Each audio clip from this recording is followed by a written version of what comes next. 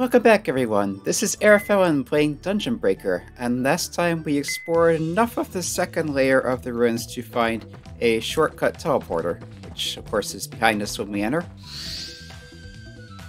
But that warps us straight up to the fourth floor from the first floor. So let's have a more of a look around here.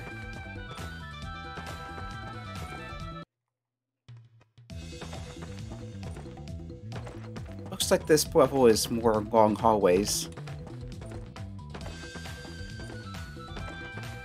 This might connect to the other path. This is zigging and zagging. Go into the corner to fill out the walls. Yeah, the monsters up here are definitely stronger than the ones on the lower levels, which you'd expect.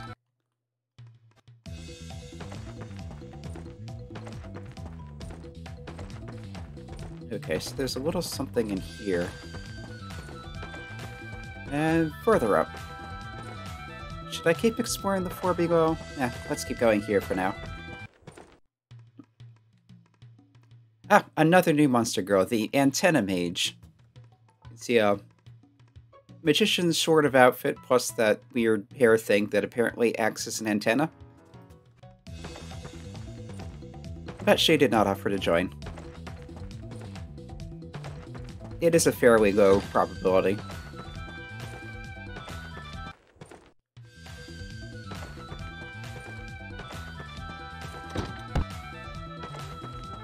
Okay, that's just a bit of nothing.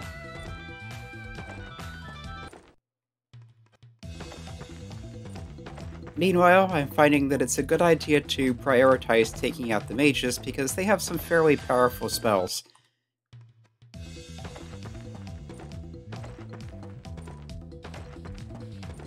I'm guessing there'll be another healing point up here somewhere.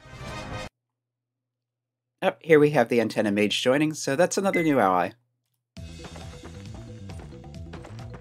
But yeah, the general way dungeons work is you explore for a while, then you find... Excuse me. Yeah, you explore for a while, then you find a healing spot before a boss. So there should be one up here somewhere. But until then, it looks like we're running into a lot of... Yeah, a lot of twisty little passages and dead ends.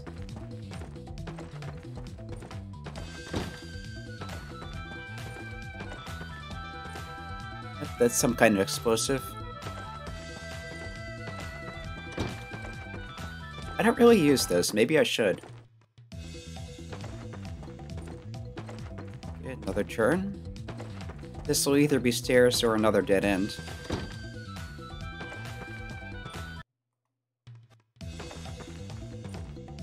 And it is stairs.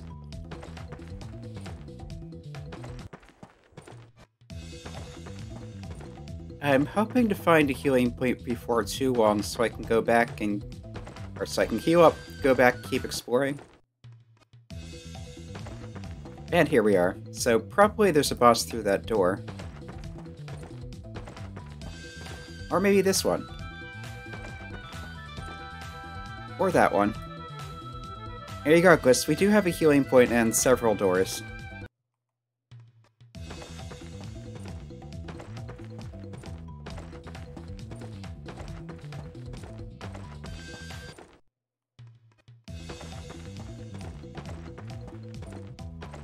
Mile I am finding, as I seem to recall having found the first time I played this, Alec has a skill called Burst Blade that hits all enemies, and it's fairly cheap and surprisingly effective.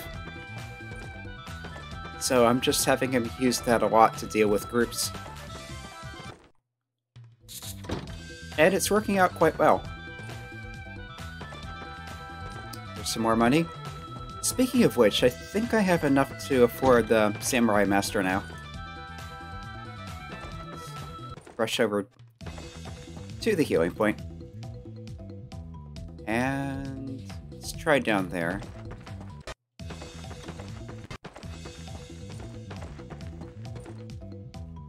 Okay. Looks like another dead end. So this floor is full of them. Another one below.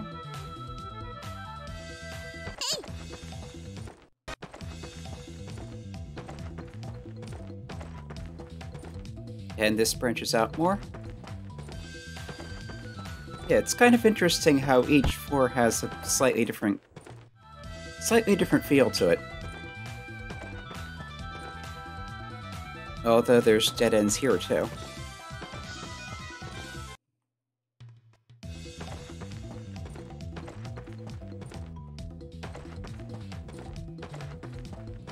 And probably more dead ends over on the other side.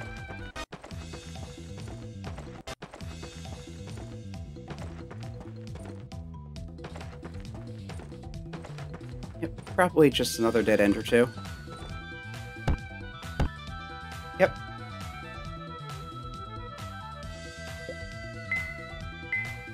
Yeah, that's enough money. Let's head back to town.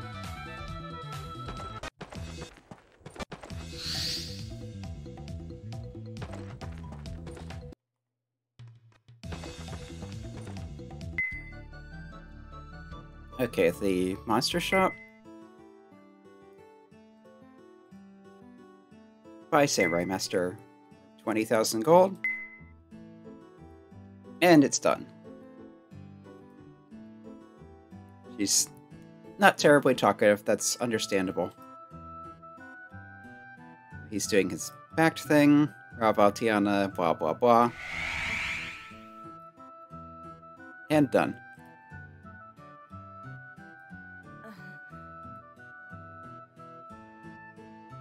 He's asking her to show him what she's capable of. He's like, I'll do just that. Cross the blade on him. What's the meaning of this? Uh, spirit of a samurai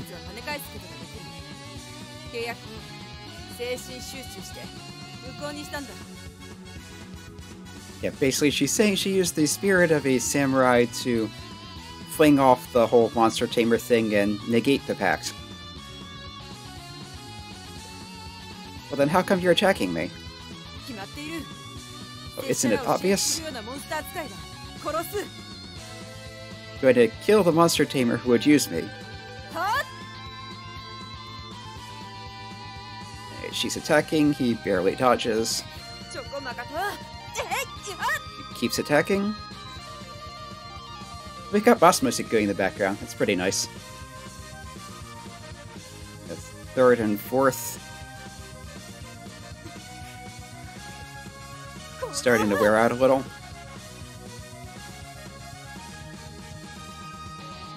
And by the fifth, her pants are starting to shake.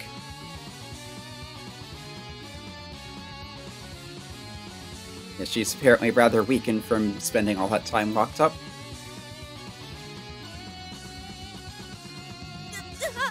He knocks her down. Does the pack thing again. Did it work this time? Unfortunately, the pact is formed. Do whatever you want. It's like, well then, I'll do just that.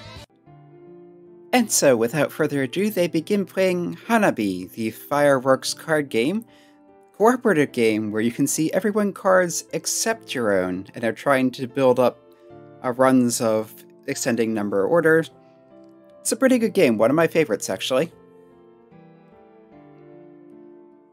And just like that, already Hawk is learning one of her skills. We have a choice between, I believe that's Inazuma slash, Inazuma being a flash of lightning. And this is, uh, yeah, looks like it strikes across all the enemies. This is Ichi, Ichimoji, which is literally the character, that thing. So that would be like a horizontal slash. Uh, let's go with that one. I think it's basically a um, cheaper burst blade. And now he's saying, you know, if you really really want to, I can release the pact and let you go now. She wondering what he's up to. Like, I just did that earlier to save my life. If you really don't want to be around me, then I'd rather not have you here.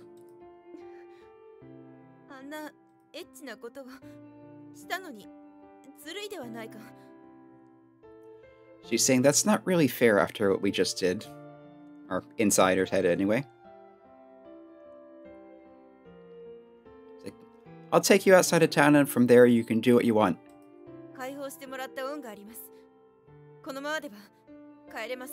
Saying, I owe you a debt after freeing me, so I can't just leave now. It's like, you're saying this after you tried to cut me up that much?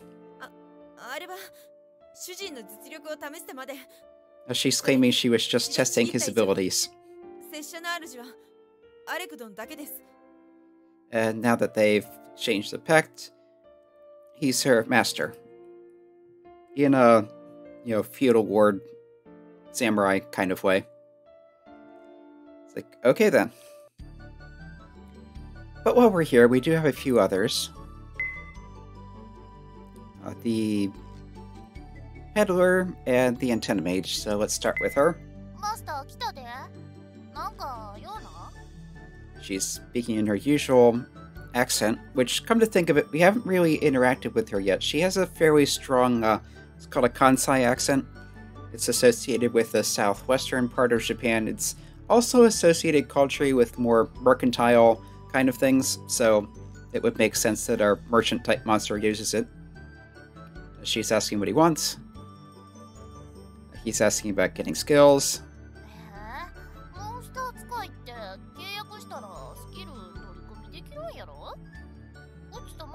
It's like, well, that's just something monster tamers can do, when, and we're already contracted, so... Explaining that he can't do it that easily, it requires him to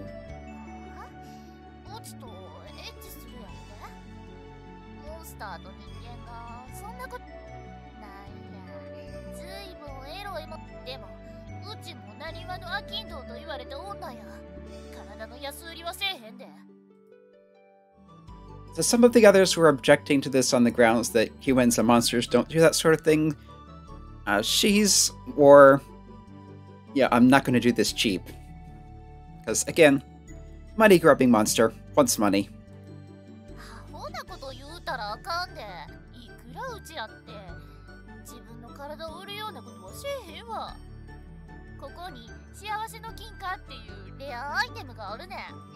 アホなこと言うたらあかんでいくらうちやって自分の体を売るようなことはせえへんわここに幸せの金貨っていうレアアイテムがあるねんこれ買ってくれたらマスターの顔に免じて考えてるわ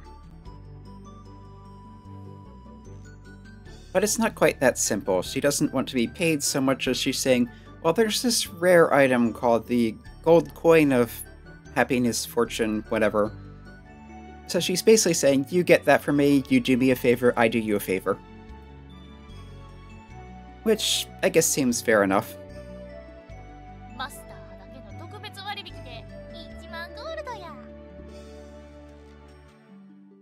don't know, but I that. She's asking him if to buy that from her, and in exchange, she'll think about it.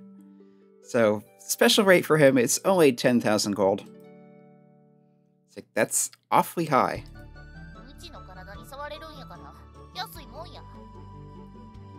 She gets cheap for what you're asking. Fine, I'll pay that. But I don't believe I have that much money left at this point. Nope.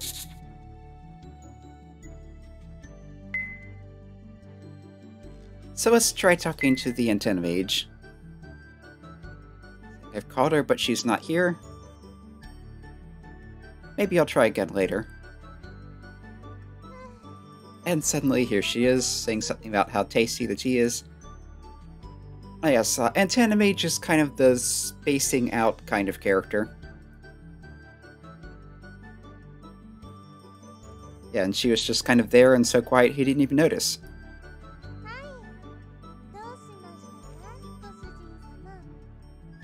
And you can hear her voice, she has that very laid back, not really paying attention kind of thing to her. Yeah, as I recall, they're actually connected through those antennas and can communicate with each other, so it's kind of like she's on the internet all the time. So he's bringing the up what he's suggesting. It's hey, are you listening? Yeah, she's in the middle of contacting the other antenna mages to ask what they think. It's like, you can do that? Yeah, they can communicate with each other through the antennas on their heads. See, opinions are split. It's like, what, what are the other antenna mages saying?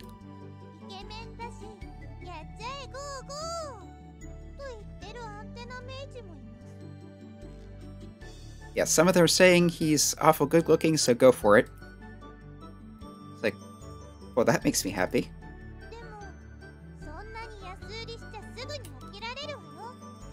But others are saying if you make it that easy for him, he'll get tired of you, so...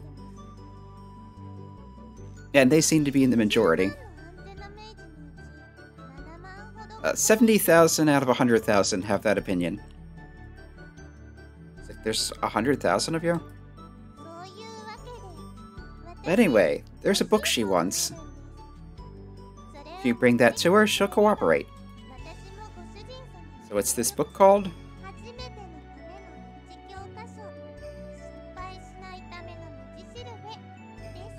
Uh, basically, it's an instruction book for your first time so you don't mess it up. Wow, I'd be really embarrassed to buy that. You can get that in the dungeon. Just kind of sneakily pick it up. Yeah, he's kind of not sure about getting used one, but eh, whatever. So we're getting into a in more interesting stage of this, where instead of just asking and it happens, you have to do some kind of a little side quest first. And I think I'm going to do a little grinding. So I'll keep the recording going in case something interesting happens, but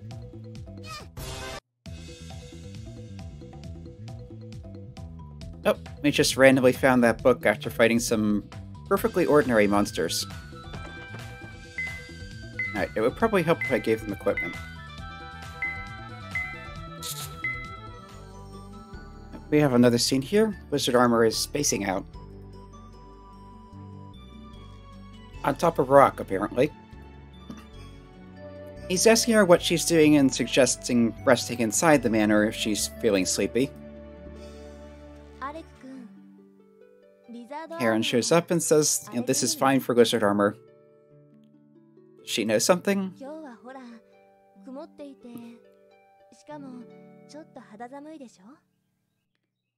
Yeah, today's cloudy and kind of chilly yeah, it makes you feel kind of... Or no, he's saying it's kind of unusually cool for this season. Yeah, when it gets cold, lizard armors tend to dig holes and hibernate in the ground. But it's not the right season for hibernating, so when it's cold, a kind of sunbathe on rocks to regulate their body temperature. Apparently, despite being so human-seeing, they're still cold-blooded. And he's remarking on basically that. This is something you should know as a monster tamer. Have you been reading the books I've given you? Like, uh, yeah, I'll do that. Yeah, she's feeling really languid. So you're looking like Tina when she wakes up.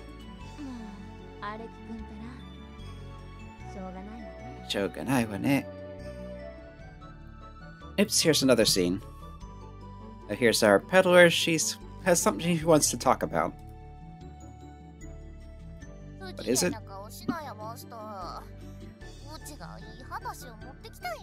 It's like, don't look so upset. I've got something good here.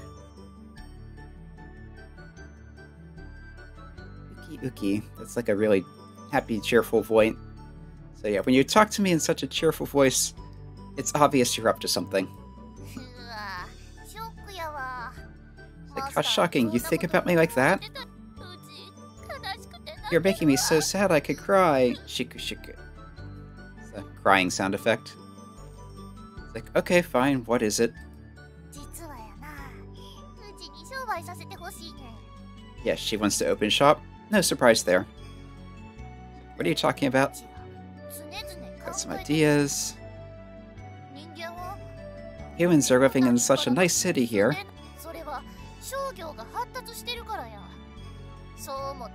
Because commerce!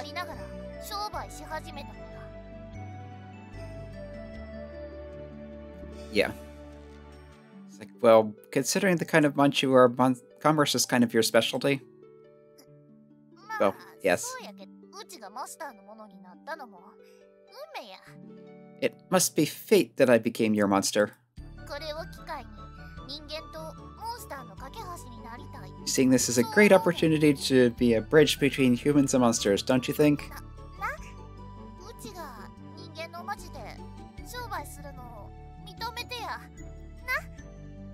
And so she's asking to be allowed to do, do business in the Human City. It's like, you know what? Okay, just don't do anything shady, basically.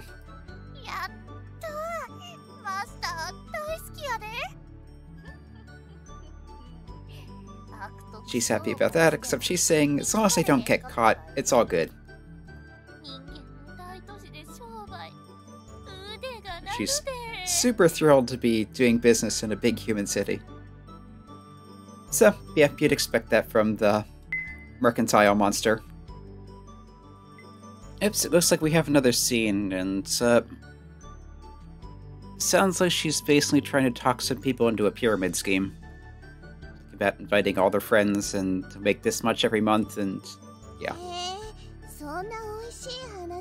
へ and she's trying to talk Tina into a thing, apparently, anyway. It's like, no, that sounds too good to be true. This is really rare opportunity, so I'm sneaky about it. But since you're Master's girlfriend, you're special. It's like, girlfriend? Oh, um, no, I'm not.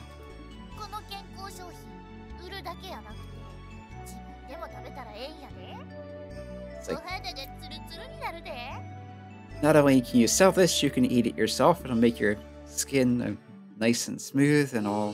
そうなんだちょっと欲しいかも Tina's starting to be convinced. And Alec walks in, he's like, What are you up to? うわマスター It's like, uh, なん nothing? でもあれへんアキンドーちゃんがね健康食品の販売を友達に紹介するだ Of け course, で she spills the お金が beans. 儲かる 話を紹介した友達から手数料がもらえて友達が紹介したらまたそこから手数 Yep, 料 you- がもらえるんだって Yeah, it's a pyramid scheme. You tell all your friends, they send you money, they tell their friends, they get money from there, and so on and so on. And uh, これで武器 Yeah. やアイテムを買うにもお金に困らないよ and she's talking about how nice that we not have to worry about money for weapons and items and stuff. It's like, hey, peddler, that sounds like you're doing dirty dealing. Like, uh, no, of course not. This is totally above board. Why are you looking away then?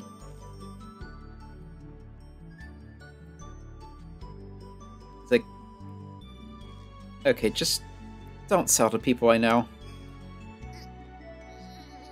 Fine. えー、健康食品の話紹介してくれないの Wait, you're not going to tell me about the. I think that's health food. It's Like, you need to be a little more suspicious of people. Bonk. あい How?